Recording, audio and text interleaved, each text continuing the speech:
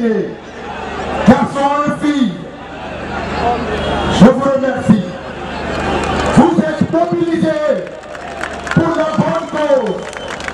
Demandons la libération de tous les prisonniers politiques, qu'ils soient militaires, qu'ils soient des forces de sécurité, qu'ils soient civils.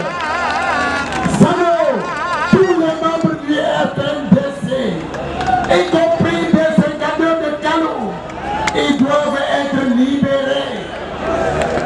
Nous voulons, nous voulons l'alternance démocratique en Guinée. Nous voulons que la démocratie soit désormais consolidée en Guinée. Nous ne voulons pas un troisième mandat. Un président a dit c'est fini en Guinée. Merci